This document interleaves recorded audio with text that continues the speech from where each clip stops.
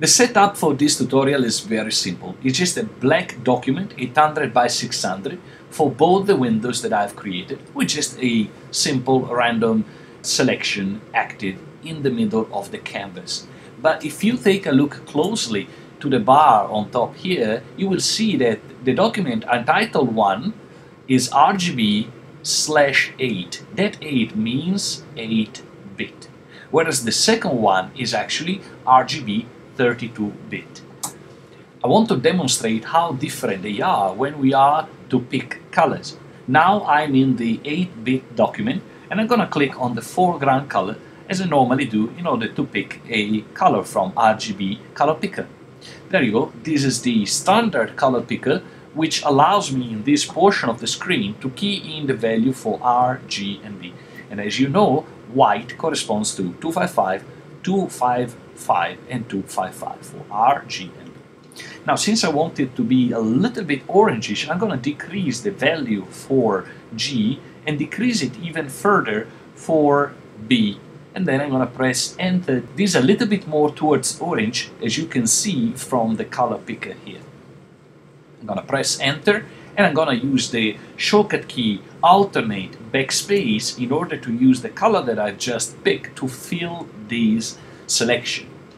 Then I'm going to click on select and deselect and apply the new filter blur tilt shift. As you can see uh, even if I increase the blurriness, I can only slightly perceive the orange tint that I've slightly added to the RGB mixture of this white. Whereas when I work on 32-bit, the story is completely different. Because when I click on the foreground color this time, the color picker that comes up is rather different. You see, my 255, 250, 240 selection is still active here, but you notice that this time now I have another additional slider which represent the intensity of the color. So for the time being, I will just ignore the normal relation that we have with RGB when we are working in 8-bit, and I will just pick whatever orange I think I like the most. Let's say this one, for example. As you can see in the standard RGB, it corresponds to 255, 48, 0. Very different compared to 255, 250, 240 that I've chosen before. And the equivalent RGB is this orange shown on top here. But look what I'm gonna do now. I'm gonna increase the intensity. As I increase the intensity, you will notice that the RGB value for 8-bit remain unchanged at the bottom part, is still 255.480, whereas the 32-bit value for RGB is very different, is now 2024. What does it mean? Actually, when we work with 32-bit RGB, the highest value is 1. So if I'm typing here 1, it corresponds to 255 in the 8-bit RGB section.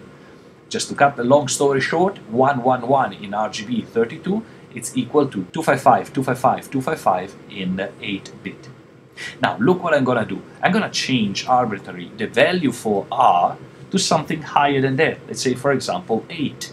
I'm gonna change the value for G, let's say to something like uh, 3 or 4 or something that goes in the same relation that we had before with 255R 250G, 240B, where R has the highest value and B has the lowest value, whereas G is in between the two values.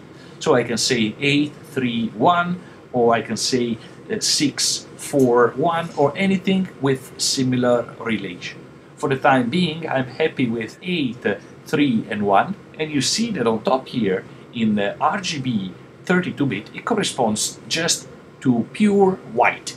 I'm gonna press OK and I'm gonna do the same thing shortcut alternate or option uh, backspace to fill the selection.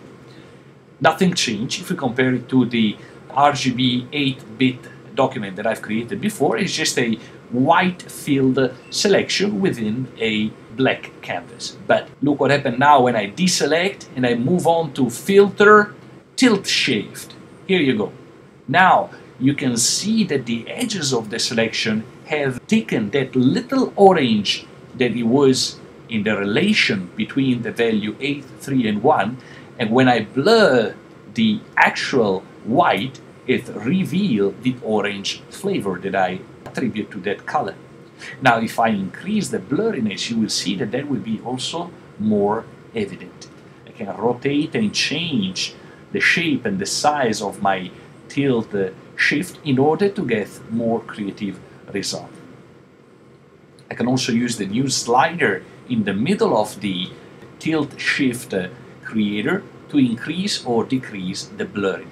If I want to get even more creative, I can turn on also the iris blurriness in the right hand panel here and move these around or just change the shape from a circle to a square or just stretch it like an ellipse. I can just click right in the middle of this selector and move it somewhere else to create more original results. When I click on OK on the top part of the screen, the blurriness will be rendered in our document. So this was the result with 8-bit, this is the result with 32-bit.